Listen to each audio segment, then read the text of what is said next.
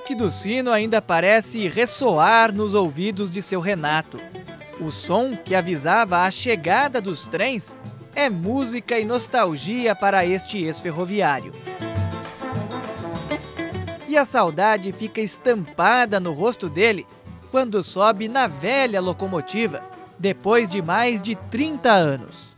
Tenho saudade, porque não, era uma alegria muito grande minha de ver eu trabalhando para ver o futuro do nosso país. E não é para menos, afinal foram 33 anos, 3 meses e 3 dias trabalhando pelas estradas de ferro do interior paulista. Foi de tudo, de ajudante geral preparando as fornalhas das Marias Fumaças a gerente de operações e não esconde que a grande paixão foi pilotar as locomotivas. Corria de, de Jundiaí a Campinas, de Campinas a Rio Claro, de Rio Claro a Bauru, Marília e até Panorama, no fim da linha Companhia Paulista. Então a gente recorda todas as passagens que eu entrava, eu, eu ia passeando assim quando eu ia chegando, a minha alegria era essa. Eu era jovem, moleque novo, então eu ia chegando nos trem, até a casa, tudo esperando, esperando, ah, o trem está chegando. Então, tudo correndo em volta da estação e aquela era, alegria minha de ver a minha meninice, a minha juventude fazendo aquele, aquele percurso, saber que eu estava trabalhando para o futuro do nosso país. Hoje, aos 81 anos, só restam as lembranças, fotos e um diploma de honra ao mérito, dado pela Companhia Paulista de Estradas de Ferro. Uma longa trajetória que conta parte da história ferroviária de São Paulo. Tudo começou com a implantação da Estrada de Ferro Santos-Jundiaí, em 1867, idealizada pelo Barão de Mauá e financiada por capital inglês. Era a São Paulo Railway, mais conhecida como a Inglesa, a responsável pelo escoamento do café produzido no interior paulista. Mas ela sozinha não dava conta de tanta produção. Foi aí que grandes fazendeiros do café financiaram a criação de novas linhas por todo o interior de São Paulo, dando início em 1872 com a Companhia Paulista de Estradas de Ferro. A partir daí, os trens também passaram a transportar passageiros.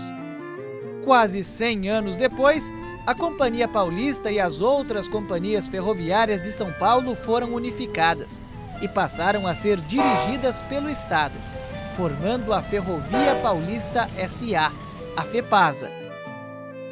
Algumas décadas depois, a empresa foi extinta e o transporte ferroviário sofreu grandes alterações em São Paulo. E 71 ela é encampada pela FEPASA por uma empresa estatal. E está muito recente a derrocada da ferrovia, porque de 71 que tentaram né, oxigenar a, a, a, ferrovia, dar mais condições né, de trabalho, melhorar até o, os, os, próprios trens, né, enfim, não conseguiram. Em 1998, houve a derrocada da ferrovia, com mais de 38 mil funcionários demitidos. Então isso é triste, porque aí você pega cinco malhas ferroviárias que a FEPAS encampou e ela não conseguiu né, manter um compromisso. Hoje, parte dessa história centenária está aqui no Museu Ferroviário de Jundiaí, abrigada em um dos pavilhões da antiga Companhia Paulista. Esta é a primeira locomotiva da Companhia Paulista de Estradas de Ferro, uma Maria Fumaça inglesa mantida a carvão, fabricada em 1828. No dia 11 de agosto de 1872, ela partiu daqui de Jundiaí, em sua primeira viagem até a cidade de Campinas.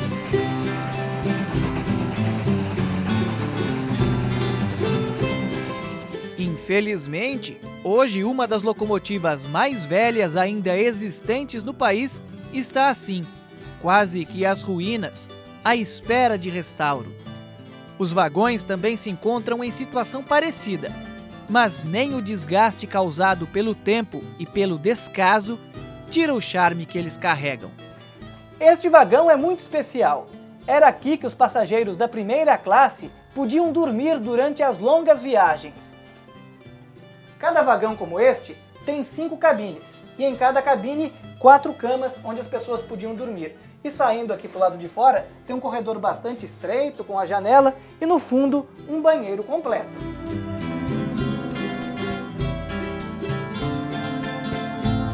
Ainda expostas ao tempo estão outras máquinas históricas, como esta locomotiva elétrica de 1924, importada dos Estados Unidos.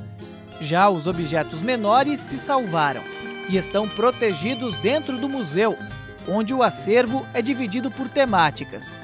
Aqui, por exemplo, está a réplica de uma sala administrativa, onde ficava o chefe de estação. O manequim que o representa está vestido com roupas originais, terno azul marinho, gravata e cap. Ele era a autoridade máxima na estação e controlava a chegada e a saída dos trens. A comunicação com os maquinistas era feita através dessas argolas chamadas estafes.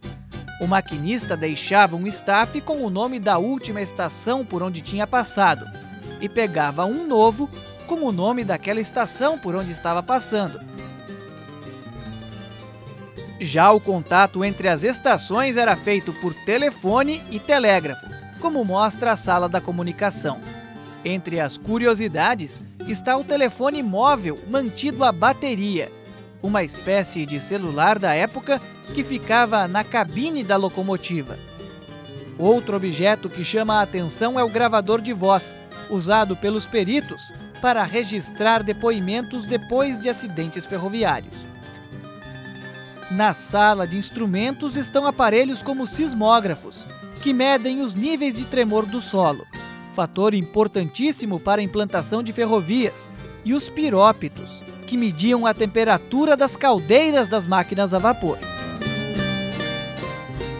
Aqui nós temos a reconstituição de uma sala de espera para senhoras. Enquanto os homens ficavam nas plataformas esperando pelos trens, elas ficavam aqui, com todo o conforto. E para se ter uma ideia, tem até um espelhinho para elas nunca se descuidarem da aparência.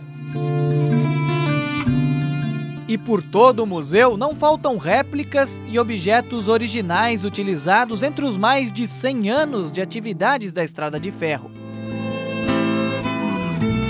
Quem visita o museu pode imaginar um pouco daquilo que seu Renato não deixa escapar da mente. Ele acha tudo isso muito bom, mas diz que tudo poderia ser muito melhor se aquele tempo voltasse a ser vivido. Eu tenho um sentimento meu muito grande de ver a ferrovia hoje com outras máquinas paradas. Se a estrada de ferro voltasse, o senhor voltaria aos 81 anos a enfrentar Se falasse para mim, eu voltava, porque minha idade, eu não dirijo aí. Eu dirijo. Aí meu carro aí, ali. Eu dirijo, pô. Eu, eu não podia dirigir uma, um trem desse aí? É claro. Eu, a minha mente está, 81 anos, mas não está. Não estou morto ainda. Verdade?